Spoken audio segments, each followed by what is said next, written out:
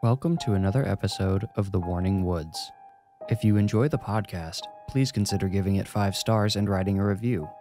Reviews help spread the podcast to more listeners.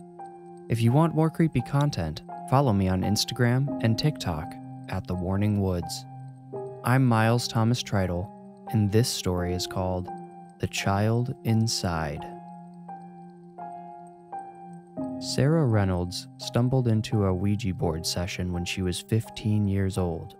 Some kids had found the board in a closet during a house party. They invited her to join in before they knew she wasn't interested in who loves who and will they won't they questions. She had a much deeper spiritual curiosity, one she had been feeding since she was a little girl. Is the spirit of a dead person here? Sarah asked, ignoring the strange glances from her peers.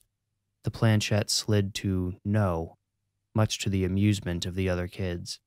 Sarah became nervously excited. Are you an evil spirit? she asked.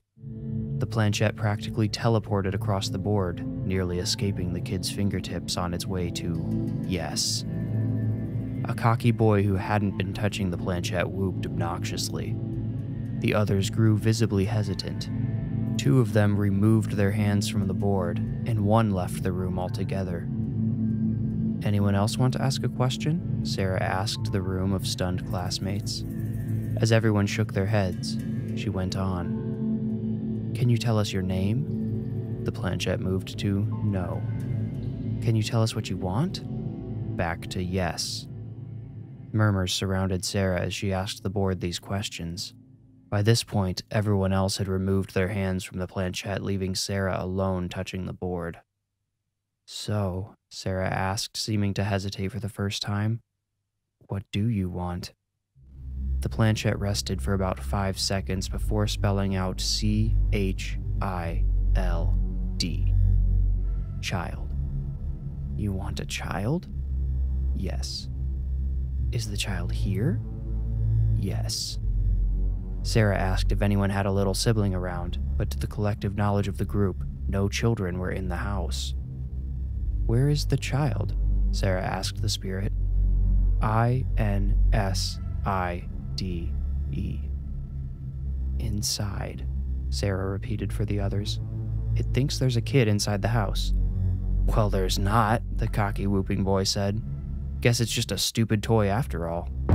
Planchette tore away from Sarah's hand, flew across the room, and struck the boy in the face, cutting open his eyebrow. Blood trickled down his wrist as he held his hand over the wound.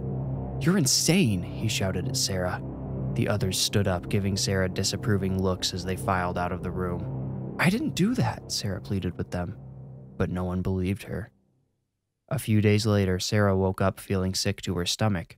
She stayed home from school, convincing her parents she had caught the flu. She probably caught it from her boyfriend, Nate, she told them. But Sarah had caught something much more serious than a passing flu bug from Nate. After a couple of violent bouts of illness in the morning, her symptoms vanished. She waited for a fever, for the aches and chills that usually accompany a virus, but they never came. Once her parents went to work, Sarah biked to the closest convenience store and bought a test. The test came in a two pack when the first showed a positive result, Sarah tried the second. Unless they were both defective, she was undoubtedly pregnant. Pregnant, she thought, at 15 years old. What a way to start your life. She told Nate right away. He tried talking her into an abortion. I only have like 200 bucks right now, so I can't really pay for it, but I can pay for like half if you want. That made Sarah laugh for the first time since she'd learned of her pregnancy. Not wanting an abortion, but knowing the child's father would be useless, Sarah had no choice but to come clean with her parents. They were angry, frighteningly so. They offered no support, no solutions. Later, Sarah couldn't recall if they had kicked her out or if she had left their abuse on her own accord. However, it happened, Sarah ended up living on the street or on friends' couches when she could. Eight months later, a fireman would arrive for his shift and discover a screaming baby boy in front of the door.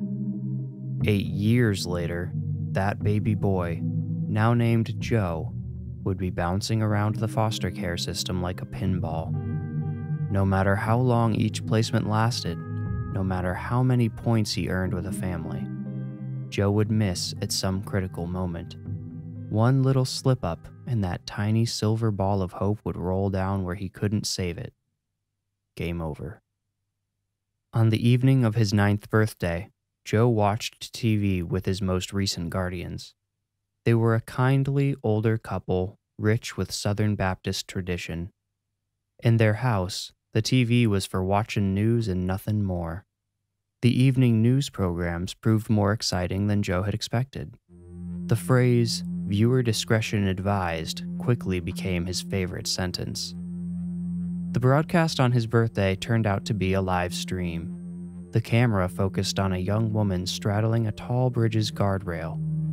First responders surrounded her at a distance, but her attention was centered solely on the gushing river below. Oh, Harold, I don't think we need to see this, Joe's foster mom, Petunia, said. Her eyes never left the screen, though. Them TV folks won't show nothing ugly, Harold argued. Please don't turn it off, Joe calmly requested. I want to watch. Now, why would you want to see something so terrible, child? asked Petunia. That's my mommy, Joe replied in a haunting monotone. Harold turned to the boy with a mix of shock and disdain. You never met your mama, boy. What you talking about that's your mama? It's her, Joe repeated. Her name is Sarah. Sarah Reynolds. The old couple shared helpless glances. Harold shrugged and shook his head, silently reminding Petunia that Joe had had a short but troubled life. He was prone to say wild things, probably just trying to comfort himself. But Joe knew it was his mother straddling that rail. He couldn't tell Harold and Petunia just how he knew, though. No, when he told grown ups how he knew things they didn't know, they sent him away and he had to start all over. Petunia tried to shut the TV off when the woman let go of the rail. The remote slipped from her overreactive fingers and tumbled to the floor as the woman tumbled into the rushing water. Before Petunia could find the remote, Harold had crossed the room and turned the TV off. I'm sure they'll get her out. Time for bed, he said. I'm sure they won't, Joe mumbled to himself as he casually walked to his bedroom where he promptly fell asleep. At the breakfast table the following morning, Harold and Petunia's eyes never left Joe. He didn't allow their dissecting gazes to disturb him. He knew why they stared. He'd experienced it numerous times before the disbelief, the concern, the fear. Boy, Harold choked. He cleared his throat and continued. I'm afraid we have some sad news, but but I guess you already know. Tears welled up in Petunia's eyes. That woman last night, the woman on the television, she. Her name was Sarah Reynolds. Divers pulled her body out of the tributary this morning. Now Petunia sobbed loudly. She cried, How did you know? How could it be? Promise you won't send me away if I tell you? Joe asked. Now, why would we do such a thing as that? Harold retorted. Joe would answer the question in his own way. Sarah Reynolds let the devil inside, said Joe. We live in here, together. He pointed to his head. The old couple drew back, disturbed. Now, boy, we won't be having none of that devil talk in this house, you hear? Harold reprimanded. You hear? Joe echoed. Harold doubled over, hitting his forehead against the table. He pressed his hands against his ears. Petunia jumped out of her seat and rushed to her husband's side. What's happening, child? she moaned. Joe's mouth quivered as if he were about to cry, but his eyes were black holes void of emotion. They remained focused on the suffering man. Harold's shoulders relaxed a little and he removed his hands from his ears. His palms were slick with blood, which could be seen trickling out of each ear and running down his neck. Oh, Harold, Petunia cried, but Harold couldn't hear her. He turned his head from side to side as his eyes darted around the room in panicked confusion. Harold? Harold pointed to his ears and shook his head. You little bastard, what have you done? Petunia shrieked at Joe. It wasn't me. It was him, Joe shouted. Later in the emergency room lobby, Petunia tried to call Joe's social worker three times. Each time, her connection got mysteriously interrupted. Each time, she set the phone down and saw Joe boring into her with those abysmal, lifeless eyes.